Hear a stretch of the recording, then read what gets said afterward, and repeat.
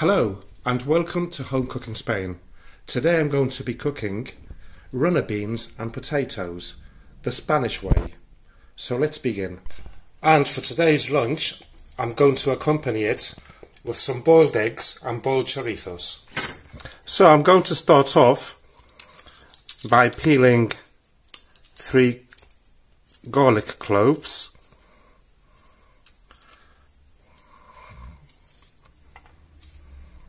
and I'll put them there for now.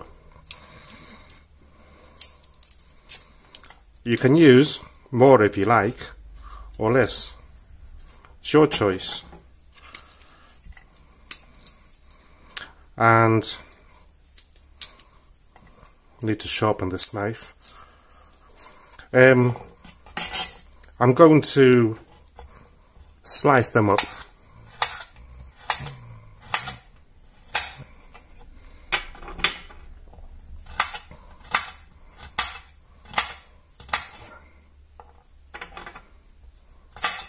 Way.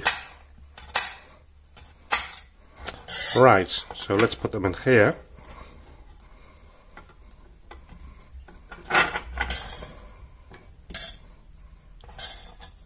There you go. Next, I'm going to peel the potatoes. And there you go. Now, we're going to slice them.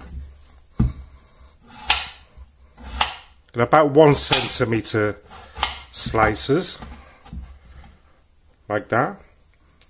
And we're going to put them in a pot. So here we have them. On to the next step which is to have a sip of wine and wish everyone a good day. Cheers. Right. So I've got my runner beans here that I bought yesterday. So what I will do I will show you how you prepare them if you don't know.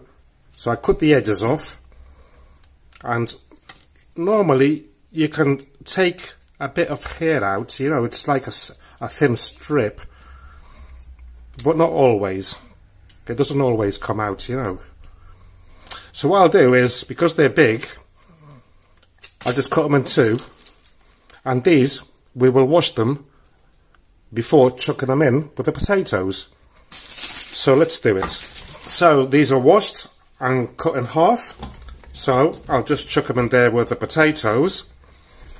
And I will add salt to my own liking. And fill this with water. Right, so this is covered with water. So what I'll do next is turn the stove on and I'll whack it on to the highest and wait for it to boil. And in the meantime, I've got a small pan here in which I'm going to put in the chorizos, mini chorizos today, spicy ones, and some eggs. And I'll just cover that with water and add some salt and I'll put it here I don't know if you can see, just about. I'll put it there and I'll turn the heat on and, and cook it for about 15 minutes. This pan here, what I'll do is put the garlic in there and I'll add some olive oil about five tablespoons. New bottle I got, nine euros fifty. What a what a disgrace! So I'll wait for this to start doing its magic. I'll be back. Right, this is starting to boil. So what I'm going to do is just I'm going to turn it down a notch to number 8 and I'm going to boil this for 15 minutes. And this is nearly done. Obviously this is not part of the recipe. Some pork chops would be a good choice but I'm having chorizo because I'm a chorizo addict. In fact, I love chorizo so much that I'm gonna have some as an aperitif with my wine. Cheers. Right, so 15 minutes have gone by. Cool, that is hot. And this is ready. Potatoes are done. And the runner beans are perfect, al dente, just how I like them. So the next step will be, let's turn everything off. I'm going to take the water out of that. Okay, I've taken the water out. And now I'm going to gently brown the garlic in the olive oil that I had here prepared from earlier on. So let's wait for that. Okay, so these garlic cloves are browned off.